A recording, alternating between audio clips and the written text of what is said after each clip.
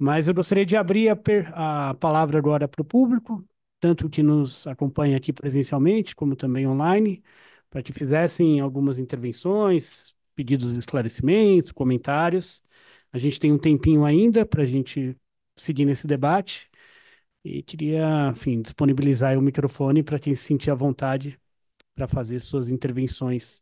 Eu pediria só que fosse intervenções breves, de três minutinhos, para que a gente tivesse tempo aí da mesa é, dar um retorno final. Vou chamar então Luiz Alberto Carvalho. Boa tarde a todos. Ah, eu sou coordenador do NAP Economia da Fundação Perseu Abramo e eu tenho três considerações a fazer. Eu não vi a pesquisa, naturalmente não, não chegou a mim, mas ah, eu antecipo que quando saiu aquele projeto de lei para regulamentação do, dos transporte por aplicativo, eu escrevi uma série de três matérias no jornal GGN do Luiz Nassif, em que eu eh, punha ah, como até absurda a forma como a- a- aquilo foi feito, porque é ingênua. Ela lembra o Dom Evaristo Arnes, eh, tentando falar com jovens como jovem, quando ele mesmo já estava surdo, trêmulo e tal. É mais ou menos essa, ah, o que eu senti ali. Ah, o que que acontece? Ah, havia erros até de aritmética no, no, no projeto de lei. Tamanha era o tamanho era o desconhecimento que existia a respeito do assunto em si. Eu tomo aproximadamente de três a quatro Ubers por dia, pelo fato de eu não enxergar. Então eu uso muito. Eu fiz uma entrevista com 412 Uber, motoristas de Uber, e lancei para eles uma proposta que eu acho que é justamente o que o, o próximo passo a partir da pesquisa. Minha proposta era, se o- a Companhia dos Correios lançasse um, um aplicativo em que ah, ele seria cobrado só 15% do, do, do motorista, sendo 5% para para o- a Previdência Social, 5% para manutenção do sistema e 5% ah, de, ah, de seguro de lucro cessante para o motorista, se eles gostariam disso. Todos, absolutamente os 412 que eu entrevistei, aplaudiram. Então, o que está faltando na- no meu entender? Eu- são duas coisas. Primeiro, é o real entendimento do que se passa. E segundo, é falar no vocabulário eh, que eles querem ouvir. Entende? Então não adianta um camarada, por exemplo, um barbeiro chega para um garoto de 18 anos e fala assim, ó, eu vou fazer para você um corte de cabelo batuta, viu? Você vai ficar, eh, você vai ficar, vai deixar de ser bocumoco. O que nós estamos fazendo quando, quando a gente conversa, quando a gente se comunica com essas pessoas, é parecido com isso. Nós não falamos o, o vocabulário deles e não apresentamos uma saída dentro daquele universo em que eles estão no momento, certo? Então, se esse, a partir desse, dessa pesquisa, eu acho que nós podemos fazer, sim, várias propostas que levem em conta aquilo que de fato o camarada pensa, do, aquilo que ele de fato quer. Ah, eu não me lembro o nome da carioca, mas fantástico o que ela falou, eu concordo absoluta e totalmente com ela, e o, em que a informalidade ela tem um outro sentido, eu mesmo não enxergando, fui informal durante a grande parte da minha vida e sei mais ou menos o que, o que as pessoas passam. Bom, era isso, muito obrigado. Obrigado, Luiz. A carioca é a Cristina Marins, nossa companheira aqui de pesquisas. É, eu É, queria o passar a problema é palavra. que, como eu não enxergo, eu não leio o nome dela. Não, sem problema. Queria passar a palavra agora para Helena Abramo. Bom, boa tarde para todos. Tentei estar aí presencialmente, mas não consegui. Voltei para o meu computador para poder acompanhar. Estava muito curiosa com essa pesquisa e agradeço muito terem me, mandado o aviso para assistir esse lançamento. Morrendo de vontade de ver todos os dados, mas só com esse aperitivozinho que a Jordana e o Matheus levantaram aqui, eu acho que já dá, já dá para ficar bastante entusiasmado, como a Cristina falou aqui também, né? É, eu, eu, eu, eu acho que é muito, muito interessante, porque, né, primeiro, para fazer um, uma discussão sobre esse tema com a nossa perspectiva, né, a gente sabe que muitas pesquisas de percepção têm sido feitas, mas acho que poucas delas com as perguntas que nós queremos fazer de quem está, como vocês mesmos é, afirmaram, né, preocupados com a transformação do mundo do trabalho, entender a transformação do trabalho, mas com a, o interesse na, na construção aí de uma sociedade com garantia de direitos e justiça social. É, e eu acho que essa pesquisa, pelo, pelo que deu para ver, né, é, dos dados aqui apresentados, ela já, já revela algumas coisas muito importantes, e, mais que isso, acho que ela serve para dar uma bagunçada aí, uma chacoalhada em alguns mitos, mitos dão, e algumas, algumas coisas que pareciam consensuais, que estavam construindo certos consensos sobre o que seriam essas transformações do trabalho, que eu acho que estavam, é, digamos assim, mais é, obnublando o cenário do que, do que, do que permitindo a gente entender ele com profundidade, porque se é verdade que a gente teve que fazer algum esforço, muitas pesquisas tiveram que fazer um esforço, né? E aí eu acho que foi o sentido do que a Cristina falou, o Paulo Ramos também, né? De você ir além do entendimento do que é o trabalho formal, assalariado, com direitos, e a gente precisava olhar, entender, incorporar as agendas dos trabalhadores fora desse universo.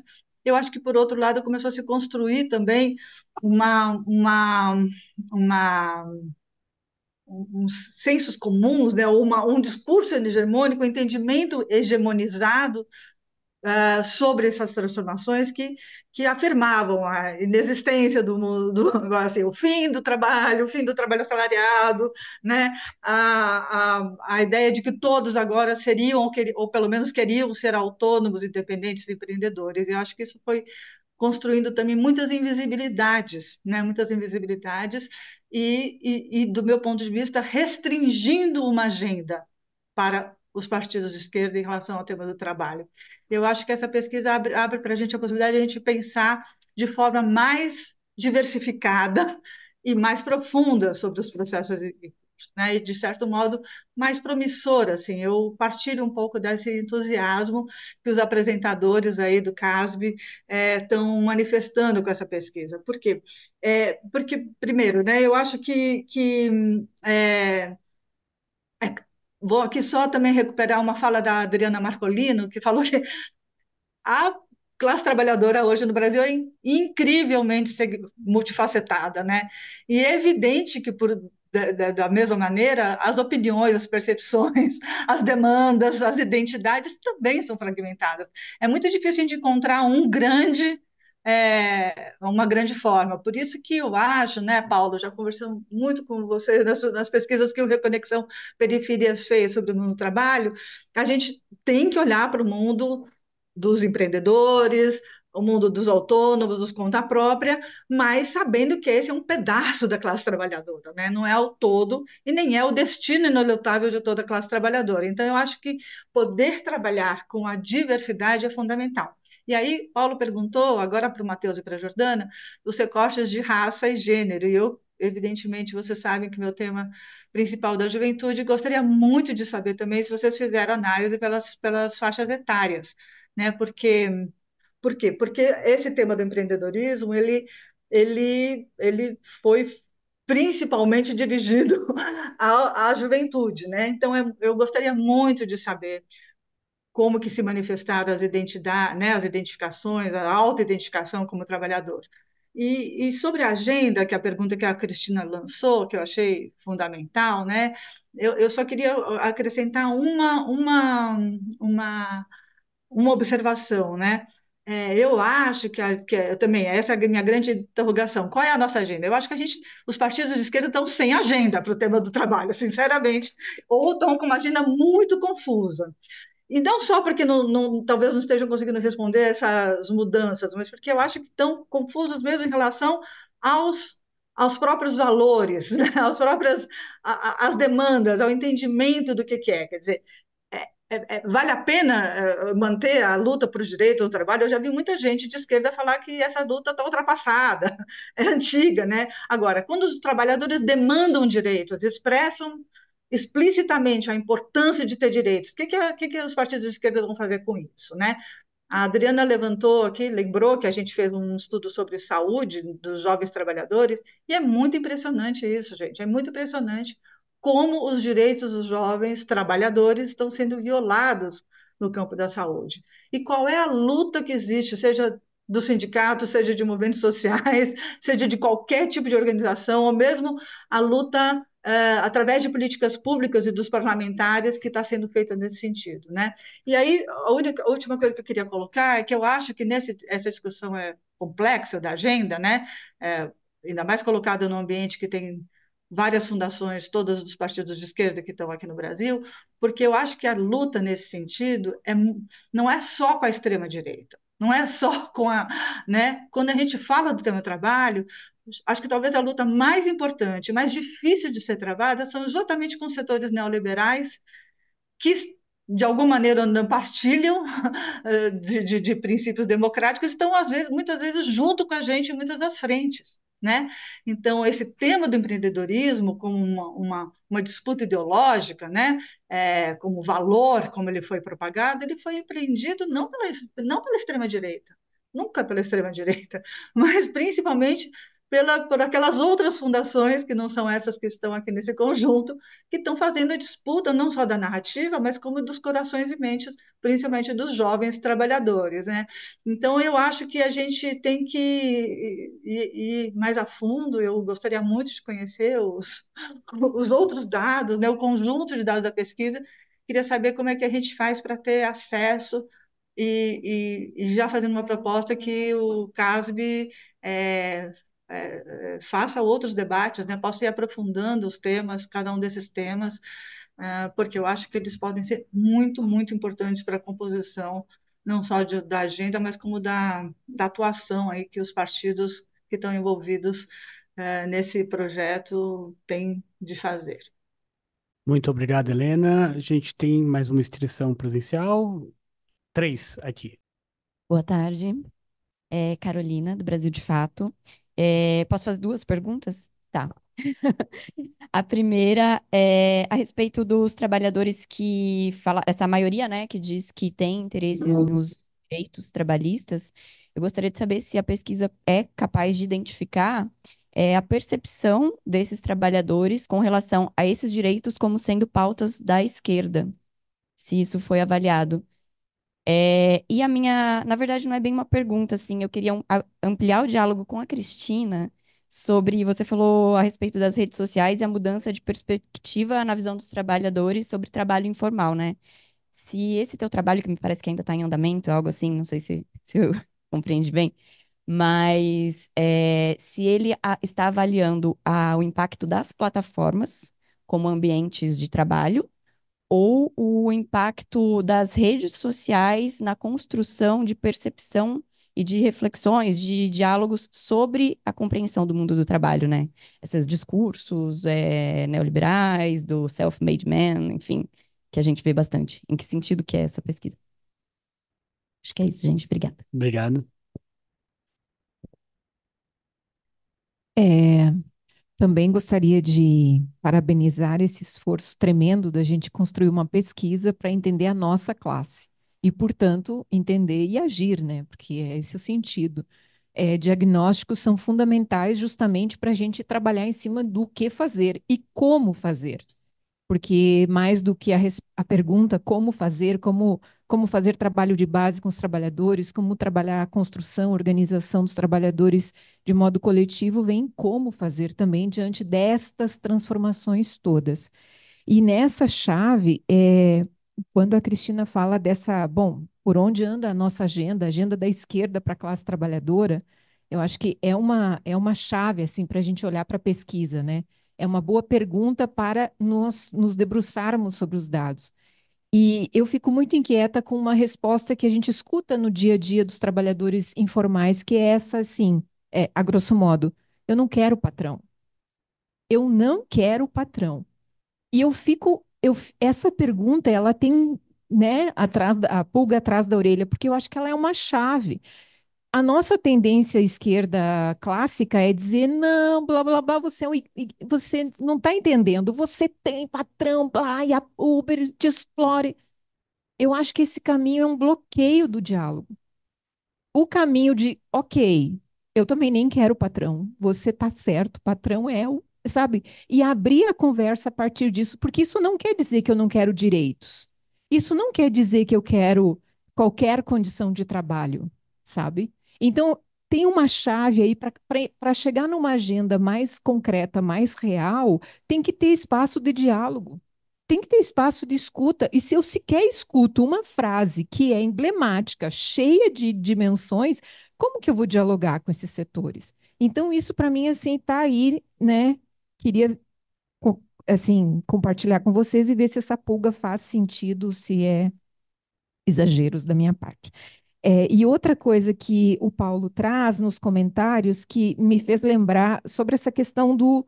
É, a, a, classe trabalhadora tem uma, tem uma espécie de agenda pragmática, né? ela quer resolver os problemas. O tipo de associativismo que temos é frágil, ele existe, ele está aí, mas ele é para resolver o, um problema objetivo de agora.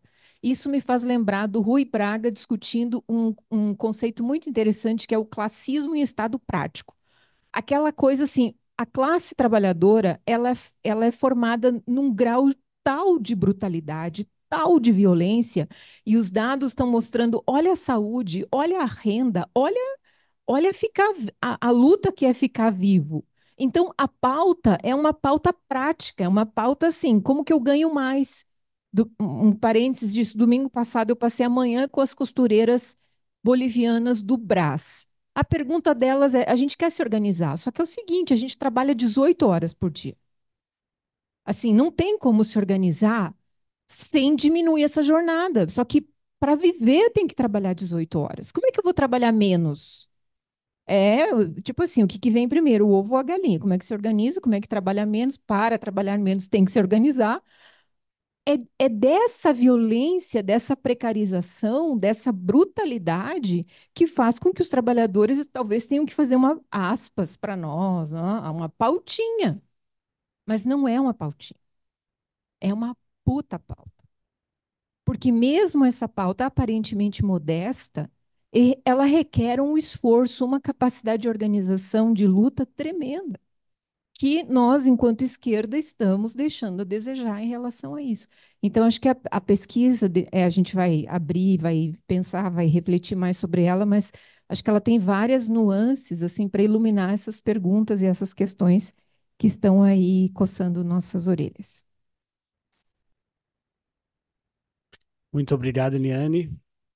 Queria passar agora a palavra para o Rafael Freire, que está com a gente online, mas por um problema técnico aqui não, a gente não estava conseguindo abrir o seu próprio microfone. Acho que agora vai funcionar, Rafael. Obrigado. É, na realidade, a gente tentou, mas agora deu certo.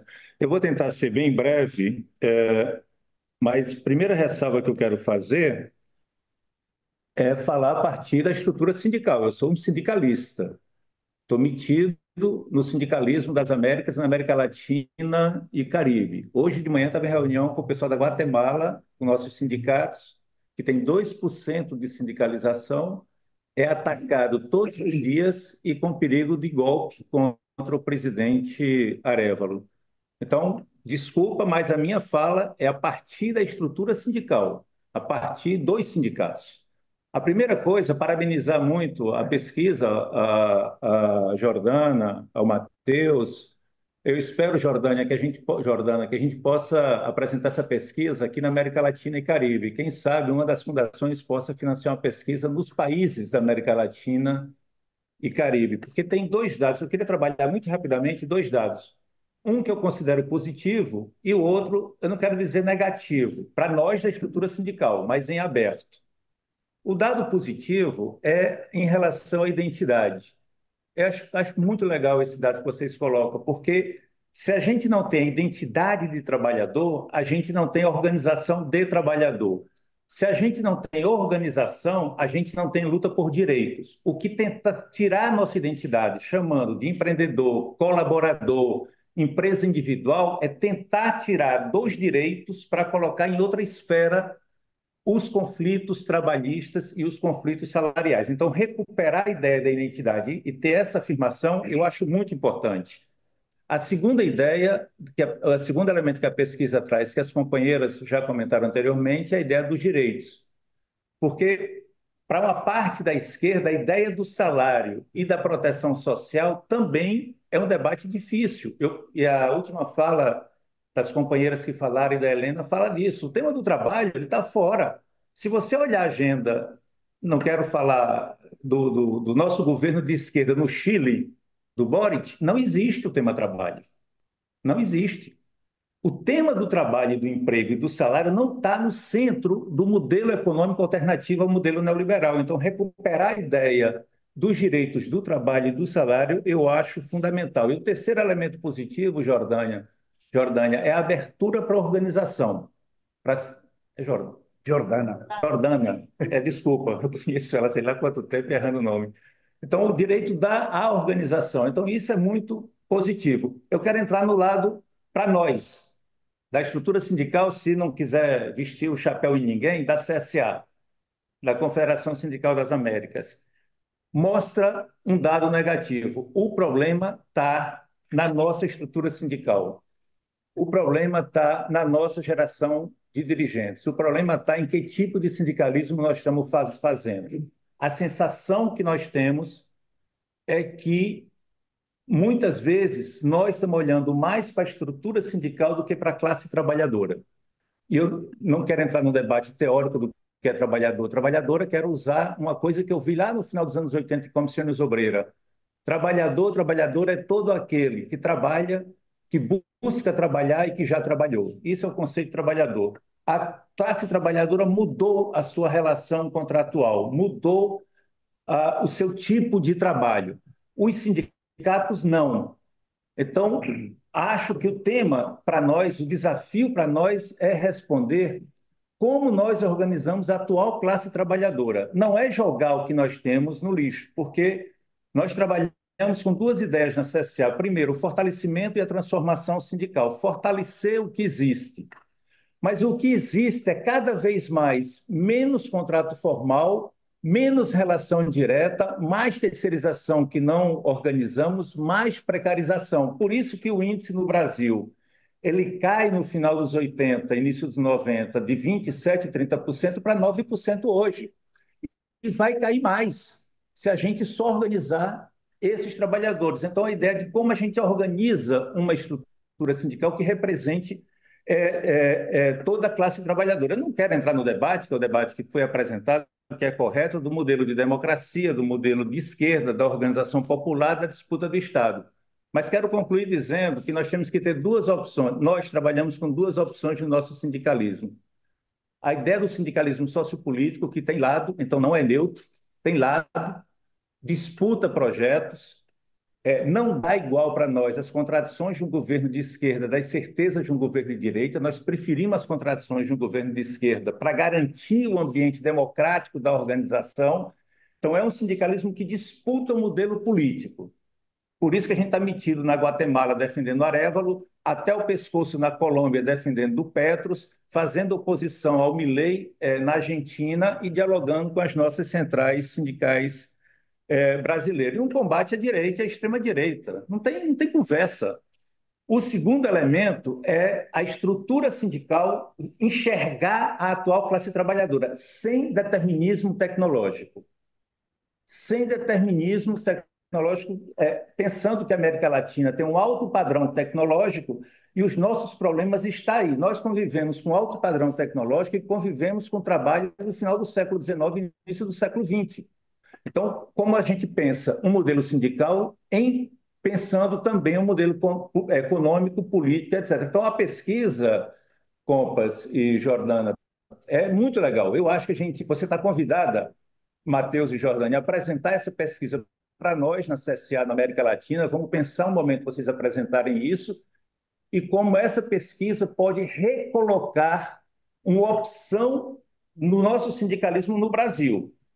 E não é culpa de um sindicato, é um papel da central sindical. Eu não estou falando do papel do partido, das organizações populares ou sociais que organiza. Eu estou falando do ponto de vista sindical. É papel da central sindical enxergar a classe trabalhadora, usar nosso potencial e ver como nós apresentamos uma estrutura da atual classe trabalhadora e não uma estrutura sindical da segunda revolução industrial. Desculpa uh, o apurado tempo, como eu sou um dos últimos a falar, eu não tenho muito tempo e não quero atrapalhar o andar aí do debate. Um forte abraço, um abraço Daniel Angelim, Carlos Henrique, todos e todas aí. Obrigado, Rafael. Acho que assim a gente encerra né, as contribuições do público. É, de fato, muitos, muitas dessas ideias que foram colocadas aqui, acho que é importante a gente ressaltar isso, permearam toda a construção dessa pesquisa. Né? Essas reflexões, essas preocupações, essas dicotomias que a gente encontra na experiência concreta da classe trabalhadora e as formas de representação, os projetos políticos são moldados a partir dessa vida cotidiana, enfim, tudo isso perpassou muito os debates que a gente teve, tanto nas pesquisas qualitativas, como também na análise, na discussão da pesquisa quantitativa. É, acho que isso, é, na verdade, é um ponto de partida, muito longe de ser um ponto de chegada, abre uma perspectiva de debate reflexão de atualização, né? E uma questão que sempre se colocou premente para a esquerda, que é a relação entre representação e emancipação, e que tanto nos importa, né? Bom, vou passar a palavra então para a Jordana, que vai fazer as suas considerações finais. Eu não sei, Cristina gostaria de fazer alguma, como foi citado? Perfeito, começamos com você e aí logo depois passamos para a Jordana com o Matheus e fazemos o encerramento. Vai ser rápido, me colocando à disposição para estender a conversa depois. Evidentemente, Eliane, eu nem vou comentar, porque eu acho que a gente está tão na mesma página. me pareceu, a partir do seu comentário, que né, a gente tem converge muito. É, e Carolina, que fez sim uma pergunta direta. A minha pesquisa, bom, rapidamente, quando a gente pensa em plataformização, existe uma ideia dominante que é, inclusive, a Organização Internacional do Trabalho define dois tipos de plataformização. Né? A plataformização que organiza um trabalho local, o Uber, o iFood, ou seja, as pessoas têm que estar num lugar circunscrito geograficamente para prestar o serviço, e o outro é aquela que não prescinde necessariamente, é o tipo de trabalho que qualquer pessoa em qualquer lugar do mundo faz através de uma plataforma. Então, para dar um exemplo, vamos pensar aqui. Há um trabalho de tradução. Você entra numa plataforma, fala lá, eu quero contratar um serviço de tradução, alguém que está em qualquer parte do mundo fala, ah, eu traduzo, não interessa onde essa pessoa está, você não vai ter nem encontro. Essa, essa é a divisão hoje hegemônica na academia, mas também na política, né? A Organização Internacional do Trabalho vai fazer essa definição. Eu acho que ela é muito problemática num contexto como o Brasil, porque a gente tem, a gente nunca mediu, mas a gente tem uma parcela muito significativa do, do trabalho que é intermediada por plataformas que não, elas não fazem, eh, eh, elas não têm uma relação contratual, mas elas são fundamentais para a entrega do serviço. Te dou um exemplo. Você vai comprar um bolo, entra no Instagram, bolo para aniversário do seu filho, sei lá. E aí tem uma série, mas assim, é um número muito grande de pessoas que dependem do Instagram para mostrar o serviço, para conseguir cliente, é, para aprender técnicas. Aí é o Instagram, o YouTube, o WhatsApp. E, e fazendo pesquisa, até a pesquisa anterior que a gente fez é, na, na Fundação Lauro Campos Marielle Franco, eu vou contar de uma, uma situação que a gente ficou muito surpreso, que a gente, a gente investiga muito esses usos de redes sociais, aí já não estou falando da minha pesquisa pessoal, né? Mas foi uma situação que me surpreendeu. E aí a gente falou, mas será que... É, e um dos setores eram ambulantes. Ambulante mesmo, que vende capinha de celular na, na pista, assim, sabe? Aí vamos ficar perguntando de rede social para esse cara, né? Claro que ele não precisa. E, e aí a gente se surpreendeu muito, perguntamos, e as respostas ele totalmente precisam das redes sociais para trabalhar. O sujeito vai para a pista, as vendas estão ruins, para onde ele vai? Para o WhatsApp, tem lista de transmissão, é extremamente sofisticado e a gente nunca viu isso, assim, a gente não vê na rua, né? Então, é, entender a plataformização a partir só dessas plataformas, a Uber, a iFood, que, claro, reconfiguram o mundo do trabalho de uma maneira muito significativa, mas no Brasil, que é um dos países recordistas de uso de rede social, a gente está sempre encabeçando o uso de rede social, é, é olhar para a ponta do iceberg. É, e é, de novo, fazer, produzir aquele desequilíbrio de gênero, porque tem determinadas profissões, por exemplo, eu, um, um dos segmentos que eu pesquiso já há muitos anos é um motorista é, de Uber, que se ele fechar a conta do Instagram dele, ele não vai perder cliente. Só que a maneira como ele percebe o trabalho dele é absolutamente influenciada pelos usos que ele faz da rede social. Por exemplo, eu abro meu livro contando essa história, eu conversava com, com um motorista que trabalhava, sei lá, 14 horas por dia, todo dia, sem folga. E eu comento, pô, você rala, hein? É difícil.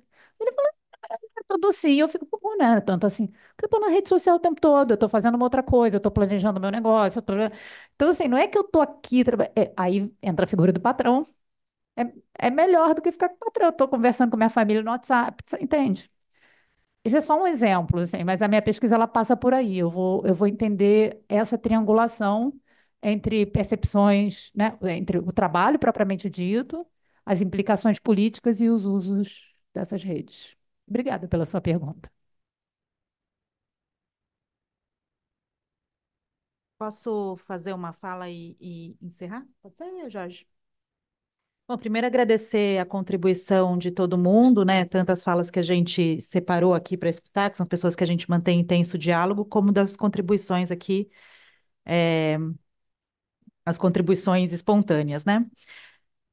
Bom, eu queria retomar um pouco a fala do Matheus, que ele falou que a gente foi em campo buscando uma coisa e acabou encontrando outra, né? O que, que a gente acabou encontrando, na verdade, quando a gente entrevistou a classe que vive do trabalho e retoma esse elemento que o Rafael destacou, que é essa classe que vive o trabalho e que se entende como trabalhadora, né? Esse elemento realmente para a gente foi surpreendente e bastante positivo por todas as contas, que, todas as questões que o Rafael coloca. E o que, que a gente encontrou? Bom, retomando, gente, a gente encontrou uma classe que está sob risco iminente, né? Se não, no momento atual, risco de saúde física e psicológica. A gente encontrou, e demandando por mais saúde, preocupada com essa questão, a gente encontrou uma classe que está vivendo insegurança é, de renda também, entre outras questões, né? E a Adriana foi trouxe esse dado sobre como o fato de ter emprego já não, não, já não é garantia de que não está na linha da pobreza, então uma demanda por renda a gente encontrou uma classe é, que está demandando também segurança social. E, por último, quarto ponto, a gente não apresentou aqui hoje, mas a gente fez um trabalho também sobre o tempo né, de, que, que gasta-se trabalhando, tempo livre, tem todo o material que a gente vai apresentar depois. Então, um, questão de saúde, dois, questão da, insegu da, da insegurança da renda, três, questão da demanda por segurança social e quatro, questão de tempo do trabalho e tempo livre. Tudo esses quatro elementos compõem uma demanda por bem-estar. Né? E foi isso que, olhando para os dados, foi isso que a gente encontrou, uma demanda por bem-estar e segurança social que deve ser garantido pelo Estado. Né? O Estado tem que garantir esse bem-estar é, para a nossa, para a nossa classe trabalhadora. E, e, o que o CASB, né, e essa pesquisa inserida dentro do âmbito do CASB, que é um centro de análise da sociedade brasileira que começou a se constituir para entender a extrema-direita, a gente chegou a uma conclusão que ela é bem é, básica, não surpreendente, mas que reforça qual que é o nosso projeto, qual que é o nosso papel no próximo período, né? Que é garantir um projeto que garanta bem-estar para a classe brasileira, né? Para a classe trabalhadora brasileira. Então, isso para a América Latina, enfim, uma, uma perspectiva internacionalista para a classe trabalhadora do mundo. Né? Então, olhando para essa, essa pesquisa, foi isso que essa conclusão que a gente chegou. A classe trabalhadora demanda bem-estar, com garantia de renda, com garantia de proteção social e com garantia de tempo livre também, entre outras coisas. Né? Então, é esse projeto que a gente acha necessário que a gente encabece para vencer a extrema-direita e para garantir o bem-estar da classe trabalhadora. Então, é essa perspectiva que a gente quer é, garantir aqui. Né? Então, agradecer a todo mundo. Posso te passar, Jorge, sem ser? É isso. Ah, já encerrou o cara. Obrigada, gente.